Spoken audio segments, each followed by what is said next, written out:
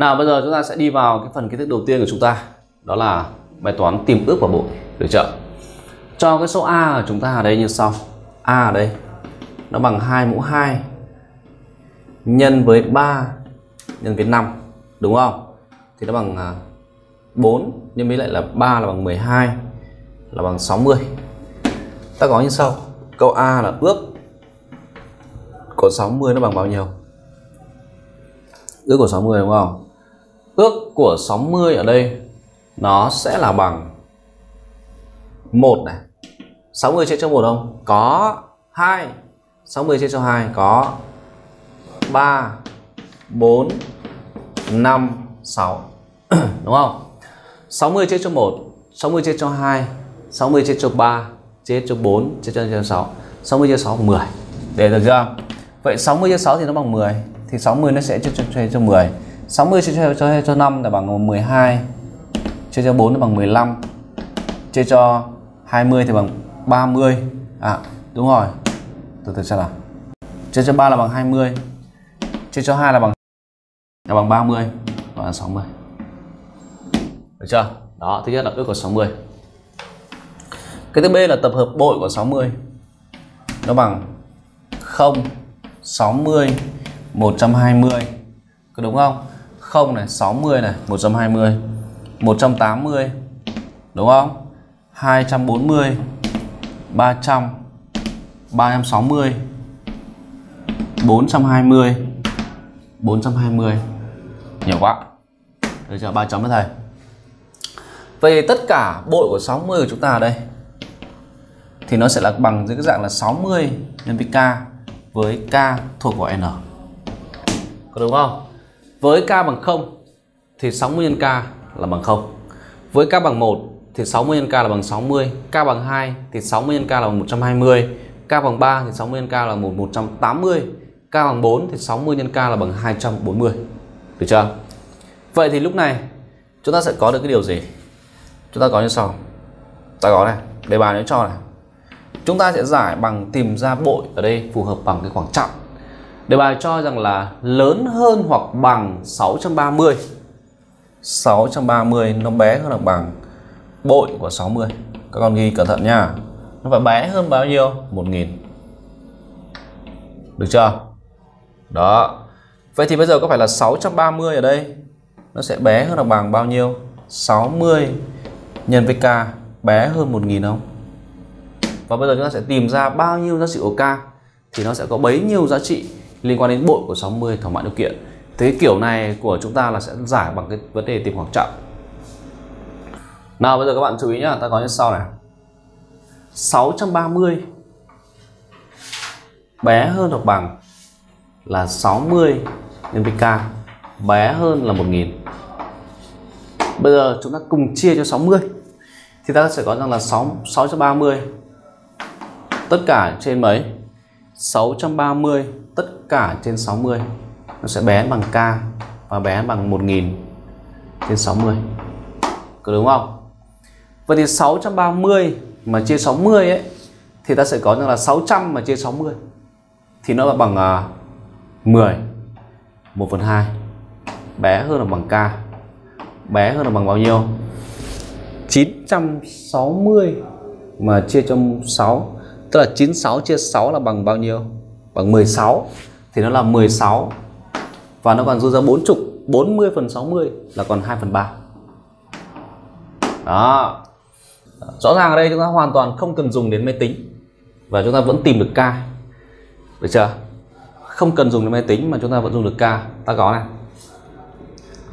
630 chia cho 60 thì nó phải là bằng 600 cộng với 30 tất cả trên 60 không? Được chưa nào?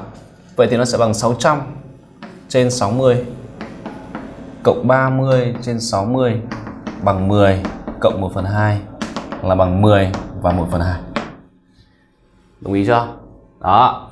Tiếp theo là 1000 Chia ra 60 Thì nó phải là bằng 960 Cộng với là 40 Tất cả trên 60 Và bằng 960 Tất cả trên 60 Cộng 40 phần 60 Thì 960 chia 6 tức là 96 chia 6 là 16 cộng với 2 phần 3 là bằng 16 và 2 phần 3 đúng không? Ok.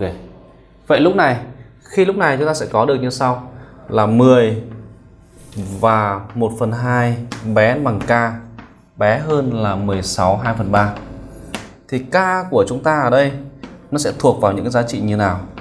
11 có đúng không? 12 13 14 15 16 được chưa? Vậy thì lúc này, bội của 60 của chúng ta ở đây, nó bằng 60k mà. Thì nó sẽ thuộc vào đâu? Nó thuộc vào cái tập hợp.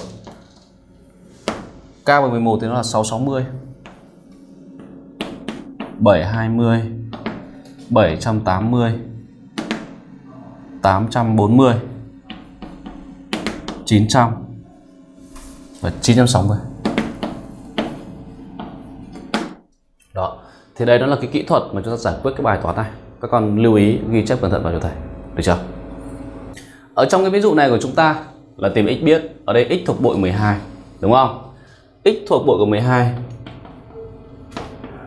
thì lúc này nó sẽ bằng 12 nhân với k, ở đây k thuộc vào n đúng chưa? Ta có như sau. Là 20 bé n bằng x, bé n bằng 50 thì lúc này, có phải là 20 bé n bằng bội của 12 bé n bằng 50 không? Và 20 lúc này, nó sẽ bé bằng bao nhiêu? 12k bé n bằng 50 Vậy thì bây giờ các bạn sẽ có rằng là 20 chia cho 12 nó bé nó bằng bao nhiêu? K. Nó bé là bằng 50 chia cho 12 đúng không? 20 chia 12 là bằng à, 20 là bằng 12 cộng 8 Cứ đúng không? Thì nó là bằng à, thầy nháp một chút nhỉ?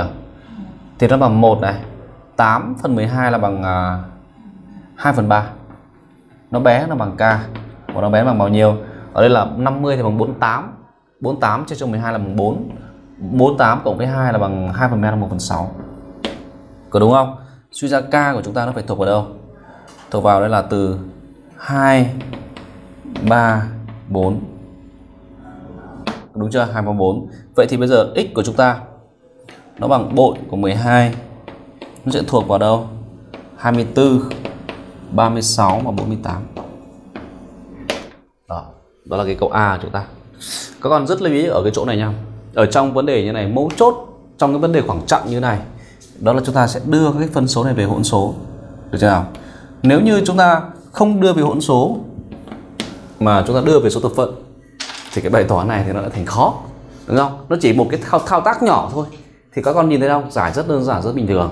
Nhưng ở cái chỗ này các con từ 50 mà chia cho 12 các con đưa về số thập phân nhá thì nó rất là khó. Bởi vì 1 phần 6 không một không chế được số 6 ở dạng số thập phân.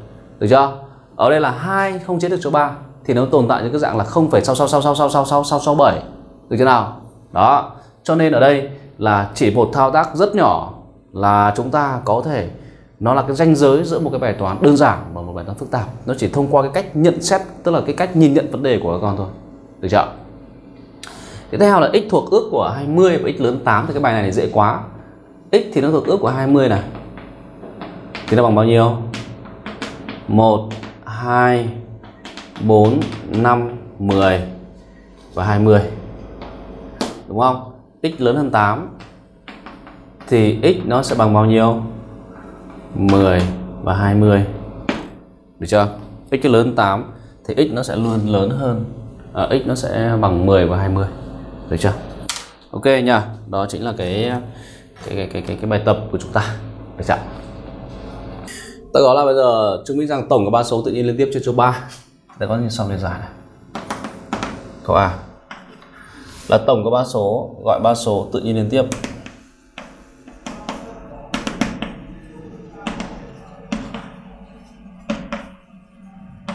Là a a cộng 1 a cộng 2 ở đây là a tương gọi n. Ta có a cộng a cộng 1 cộng a cộng 2 có đúng không? Thì nó bằng 3a cộng với 3 đúng không? Rõ ràng là do này. 3A nó chia cho 3 và 3 thì nó chia cho 3 vậy thì đó là 3A cộng với 3 nó chia hết cho 3 đúng không? Vậy, các bạn kết luận. Tổng của ba số tự nhiên liên tiếp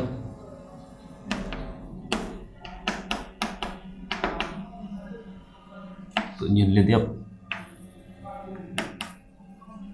Thì nó sẽ chia cho hai. À, chia cho ba. Được chưa? Tổng có ba số tự nhiên liên tiếp thì nó sẽ chia cho ba. Đó tổng có ba số tự nhiên liên tiếp thì nó sẽ chia cho ba. Tiếp theo cái câu B của chúng ta là như nào? Tổng của 6 số chẵn liên tiếp thì chia cho 6 ta gọi 6 số chẵn liên tiếp là A các bạn thấy thấy nhầm tổng có 3 số chẵn liên tiếp nhá được chưa? Tổng có 3 số chẵn liên tiếp. Gọi 3 số chẵn liên tiếp là là, tổng có 3 số chẵn liên tiếp đấy nhỉ đúng không? 3 số chẵn liên tiếp là sẽ là 3k à 2k 2k cộng 2 2k cộng với lại là 4 ở đây k thuộc gọi n, đúng không? Vậy tôi có tổng ở đây. Nó sẽ bằng 2k cộng với 2k cộng 2 cộng 2k cộng 4 thì nó bằng 6k cộng 6 thì dĩ nhiên rằng nó phải chia cho mấy? Chia cho 6 đó là điều đương nhiên, đúng không? Suy ra, ở đây chúng ta sẽ có điều phải chứng minh. Được chưa? Đấy. Ok, thì cái phần kiến thức của chúng ta đến hôm nay là ok ở đấy nhá. Được chưa nào?